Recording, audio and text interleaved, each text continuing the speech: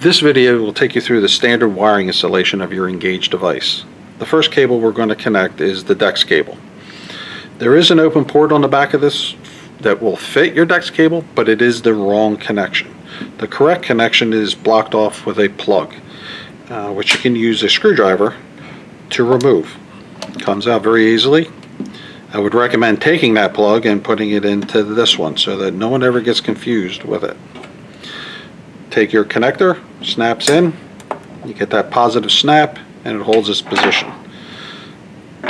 Next connection will be the MDB, which is this white Molex connector. Take that, goes in, and again you get that positive snap. The last connection is the antenna.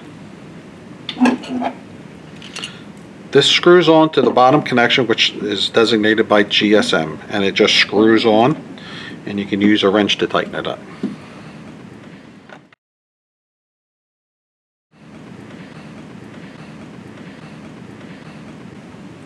This part of the video is going to show you how to install your zero volt DEX cable.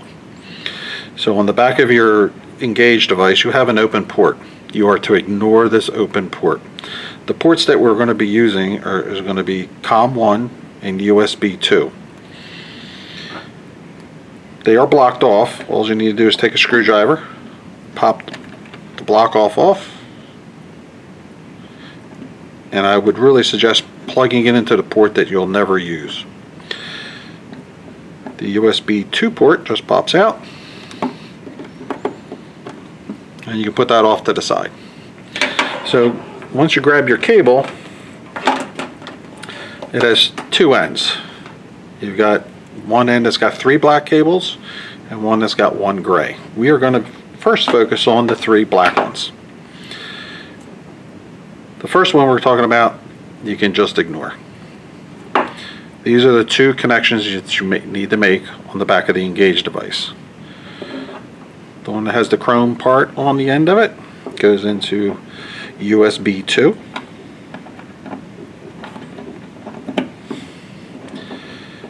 The other one goes in the COM1. Your next connection is your MDB and that will go into the white Molex connector.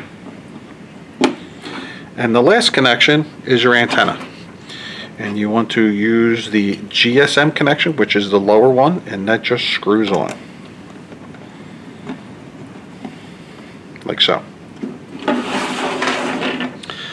In the zero volt cable kit, you have this box with two connectors on it.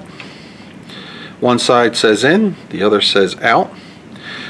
So the gray end of the cable that you just installed on the Engage device goes in the in port and the supplied DEX cable that comes with the kit plugs into the out section. And the opposite end of that is your RCA jack that plugs into the DEX port of the machine. Once you've completed all that, you're done.